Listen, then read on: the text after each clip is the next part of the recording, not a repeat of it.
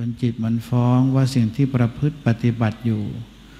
มันเหมาะกับจริตนิสัยของเราหรือเปล่า แต่เราก็ต้องพยายามเอาสติ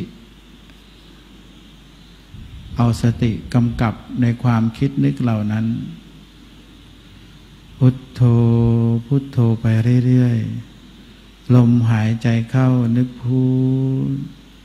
ลมหายใจออกนึกโท พุทโธไปเรื่อยๆ ไม่ต้องสนใจใคร ไม่ต้องไปกังวลอะไร เวลานี้เป็นเวลาในการที่เราจะต้องมาประพฤติปฏิบัติ ให้เกิดธรรมเห็นธรรมเข้าถึงธรรมถือว่าการประพฤติปฏิบัติตรงนี้เป็นยอดบุญยอดกุศล เวลานี้เป็นเวลาที่มีคุณค่าที่สุดในการประพฤติปฏิบัติ ก็คือน้อมจิตน้อมกายของเราให้เกิดสมาธิ จนจิตดิ่งนิ่งว่างรวมกันกับกาย ยกภูมิอัดภูมิธรรมเป็นวิปัสสนาญาณในที่สุด ก็ต้องพยายามทำไปเรื่อยๆ เผลอสติถูกนิวรณ์เขาครอบงำมีเวทนาเกิดขึ้นก็พยายามหาอุบาย เราเป็นผู้ฟังมามาก เป็นนักปฏิบัติมาเยอะ เวลามีอุปสรรคมาขัดขวางมีปัญหาเราก็สามารถแก้ไขได้ เอาสัญญาจากความรู้นั้นมาลองใช้เพื่อให้เกิดปัญญาก็ต้องพยายาม เสียงก็สัตว์ว่าเสียงสัมผัสก็สัตว์ว่าสัมผัสอย่าไปยึดมั่นถือมั่นสิ่งต่าง ๆ บางทีบางครั้งมันก็เป็นสิ่งที่เรียกว่ามารขันธมารกิเลสมารสิ่งเหล่านี้เข้ามาหลอนหลอกในตัวของเรา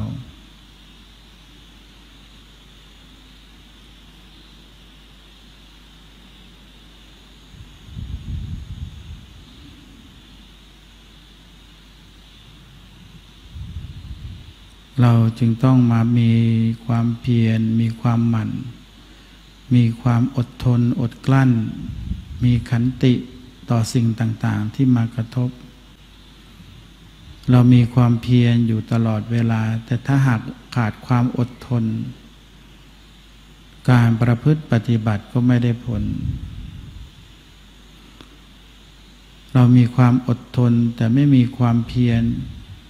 ไม่มีความสม่ำเสมอในการประพฤติปฏิบัติ ผลที่ได้ มันก็ไม่สมกับที่เรานั้นลงทุนลงแรงไป เพราะฉะนั้นขันติบารมีกับวิริยะบารมีจึงต้องประพฤติปฏิบัติให้คู่กัน ยิ่งเราเพียรมากเท่าไหร่ เรายิ่งต้องมีความอดทนมากขึ้นเท่านั้น ก็ต้องพยายาม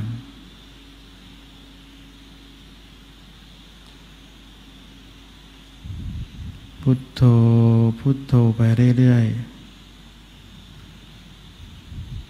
ฟังแต่เสียงพุทโธที่อยู่ในตัวของเรา ลมหายใจเข้านึกพุทลมหายใจออกนึกโธ พุทลมเข้าโธลมออก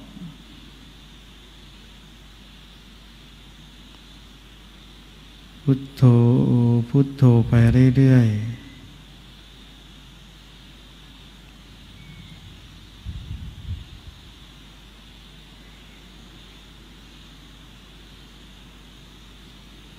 พยายามตั้งใจ เกิดความคิดฟุ้งซ่านขึ้นมามีอารมณ์เกิดขึ้น อารมณ์รักห่วงหาอาทร อารมณ์โกรธที่มันเกิดขึ้นโดยฉับพลัน อะไรมากระทบจิตมันก็หวั่นไหวพอเรารู้ว่าจิตมันเริ่มสาย มันเริ่มสั่น มันเริ่มหวั่นไหว ก็แสดงว่าเรามีสติอยู่ สติก็ไปจับไปดูไปรู้ ไปหาหนทางแก้ไข ทำไมตัวโกรธมันถึงได้มาทำไมตัวโกรธมันถึงได้มี ก็ตามดูตามรู้ตัวโกรธนั้นไปเรื่อยๆ จนท้ายที่สุดมันหมดไปเอง เรามาตามดูตามรู้สิ่งที่มันเกิดขึ้นเพื่อให้เกิดปัญญาขึ้นมา เรามีความเพียรความหมั่นในการประพฤติปฏิบัติก็ต้องมีสติ เพ ราะนั้นเราจึงมาฝึกสติของเราให้มันเกิดปัญญาขึ้นมา โกรธก็รู้ รักก็รู้ห่วงหาอาทรก็รู้ แม้แต่ควายที่มันง่วงเหงาหานอน สติก็กำหนดรู้ รู้ในเวทนาที่มันเกิดขึ้น รู้ในความง่วงเหงาหานอนที่มันเกิดขึ้นจิตมันเผลอไปนิดดึง เราก็เอาสติดึงจิตที่มันเผลอนั้นกลับมา ความคิดนึกที่มันฟุ้งซ่านออกไป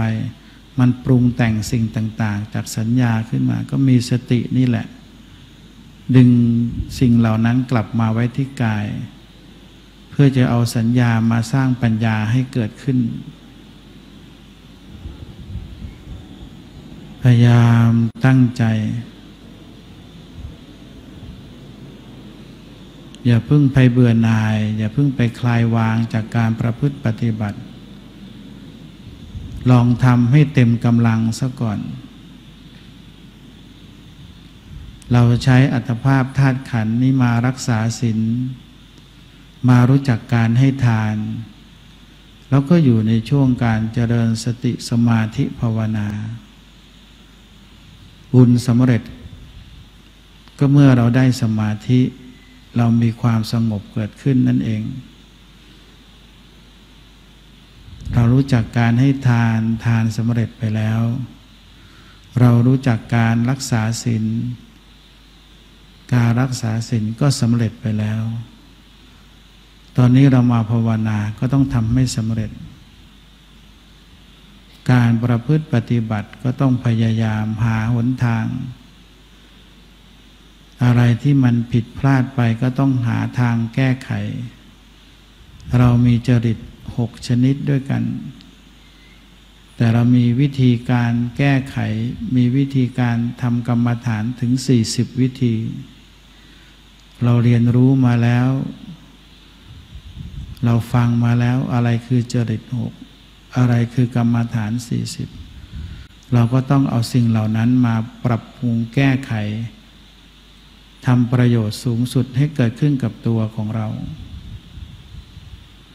อย่าไปท้อ อย่าไปถอย อย่าไปเกิดความหดหู่มันเป็นมารมาลองใจเรา มันเป็นกิเลสมารที่มาหลอนหลอกเรา ว่าเราทำไม่ได้เราทำไม่ถึงแน่ ๆ ในชาตินี้ภพนี้ แต่การที่เราเกิดมาเป็นมนุษย์มีอาการครบสามสิบสอง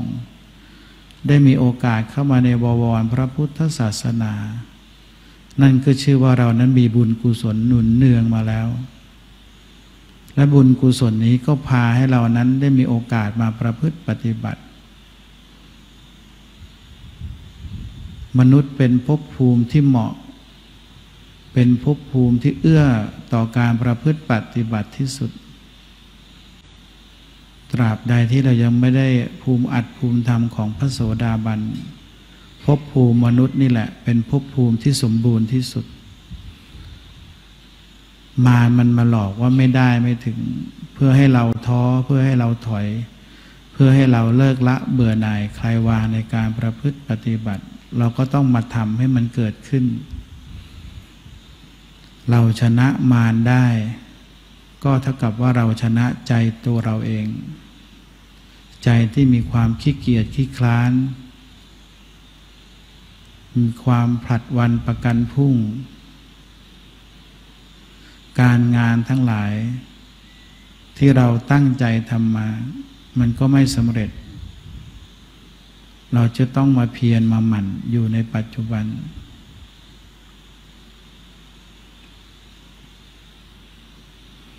พยายามตั้งใจ ลมหายใจเข้านึกพูด ลมหายใจออกนึกโท ลมหายใจเข้าพูด ลมหายใจออกโท พุทโธไปเรื่อยๆ เวลามีเวทนาเกิดขึ้น ก็ให้เรากำหนดรู้ในเวทนานั้น ความปวดความเมื่อยที่มันเกิดขึ้น ความง่วงเหงาหานอนที่มันมีขึ้น ก็ให้เรากำหนดรู้มีสติกำกับไปทำไมมันปวดทำไมมันเมื่อยทำไมมันง่วงเหงาหานอน ก็ลองหาอุบายแก้ไข แก้ที่ใจซะก่อนแล้วค่อยไปแก้ที่กาย บางทีกายมันหลอกเรา ขันธมารมันหลอกเรา หลอกว่าปวด หลอกว่าเมื่อยทำให้ใจเรานั้น เกิดกำลังหายไปกำลังอ่อนแรงลง จิตมันก็คลายจากสมาธิ จิตมันก็คลายจากความเพียรความหมั่น เพราะฉะนั้นแก้ไขเวทนาไม่ได้แก้ที่กายให้แก้ที่ใจของเรา ความง่วงหาวหาวนอนก็เหมือนกัน เวลาเรามาประพฤติปฏิบัติ จิตมันพยายามจะส่งไปข้างนอก ส่งความคิดนึกไปส่งอารมณ์ออกไป มันคิดไปเรื่อยๆ สติมันก็บางลงเบาลง ยิ่งคิดไปคิดไปจนกระทั่งในสุดท้ายก็ขาดสติหลับลงไปนั่นเอง แต่ถ้าเราเอาความพิจึกมาอยู่ที่กายของเรา มาลองจับในเวทนา มาลองพิจารณาในกรรมฐานห้าที่เราได้รับมา ผมขนเล็บฟันหนัง ความคิดนึกจิตของเรามันก็วนเวียนอยู่ในกายของเรา กายเราก็ไม่ขาดสติ เพราะจิตมันอยู่ในกาย ความคิดนึกก็อยู่ในกาย อารมณ์ต่าง ๆ มันก็ไหลวนอยู่ในกาย เป็นอัดเป็นธรรมอยู่ในกายของเรา ก็ให้เราลองพิจารณาดู ระหว่างคิดฟุ้งซ่านปรุงแต่งไปเรื่อย ๆ กับคิดพิจารณากายของเรา พิจารณาผมของเรา ขนของเรา เล็บของเรา ฟันของเรา หนังของเรา สิ่งนี้ไม่ใช่ตัวไม่ใช่ตน มันเกิดขึ้นตั้งอยู่แล้วก็ดับไปคำว่าผมของเรา เมื่อมันหลุดจากกายมันก็ไม่ใช่ของเรา ขนก็เหมือนกัน หลุดร่วงไปมันก็ไม่ใช่ของเรา เล็บพอตัดออกมันก็ไม่ใช่ของเรา มันเกิดขึ้นจากตัวเรา แต่มันไม่ใช่ของเรา มันมีสภาวะ ของการตั้งอยู่เพียงชั่วครั้งชั่วคราว เมื่อถึงวันเวลาที่มันเสื่อมลง มันก็ไม่ใช่ของเรา มันก็ไม่ใช่ตัว มันก็ไม่ใช่ตน ฟันของเราก็เหมือนกัน ใครจะว่าฟันเราสวย ใครจะว่าฟันเราแข็งแรง แต่เราก็รู้อยู่ในใจว่ามันไม่ใช่ของเรา มันมีความเสื่อมไปเป็นธรรมดา เราคิดแบบนี้พิจารณาอย่างนี้จิตมันก็เกิดปัญญาขึ้นมา อะไรที่ว่าแข็งแกร่งที่สุด อะไรที่ว่าสวยที่สุด มันก็มีความเสื่อมไปเป็นธรรมดา แม้แต่หนังที่ห่อหุ้มร่างกายของเรา ห่อหุ้มดวงจิตวิญญาณของเรา ที่เราใช้กายมาประพฤติปฏิบัติ วันคืนที่มันล่วงไปล่วงไป มันก็กลืนกินกายของเราไป ผิวหนังที่เต่งตึงก็เหี่ยวย่นลงไป บางทีบางครั้งมันก็เสื่อมสลายไปเป็นปกติเป็นธรรมชาตินั่นเอง เราอาบน้ำทุกวันถูสบู่ขี้ใครมันก็คือกายของเรานั่นแหละที่มันหลุดล่วงไป มันเสื่อมไป เราไม่ได้ไปยึดติด ไม่ได้ไปห่วงหาอาทรสิ่งที่มันหลุดไป เพราะเราไม่ได้ยึด เราไม่รู้ว่าเราฝึกการไม่ยึดมาตั้งแต่อ้อนต่อออด เราไม่ยึดฟันที่ร่วง เราไม่ยึดผมที่ร่วง เราไม่ได้ยึดขนที่หลุดไป แม้แต่ผิวหนังที่มันลอกไป เราก็ไม่ได้ยึดมัน มันเป็นตามธรรมชาติ เรามีความเข้าใจเป็นพื้นฐาน เราจึงมาฝึกเพิ่มเติมเพิ่มมากขึ้นให้มันมากขึ้น เรารู้จักการไม่ยึดไม่ถือ ไม่ห่วงหาเอาทอนสิ่งต่างๆ ที่มันผ่านไป แต่เราไม่ได้ทำความเข้าใจกับมันให้อย่างถ่องแท้ทำไมมันเกิดขึ้นทำไมมันตั้งอยู่ แล้วทำไมมันดับไป การที่เรามาฝึกสมาธิภาวนาให้เกิดความสงบ มันก็เป็นจุดเริ่มต้นให้เรานั้นได้ทำความเข้าใจอย่างถ่องแท้ ของความเกิดขึ้นความตั้งอยู่แล้วก็ดับไปนั่นเอง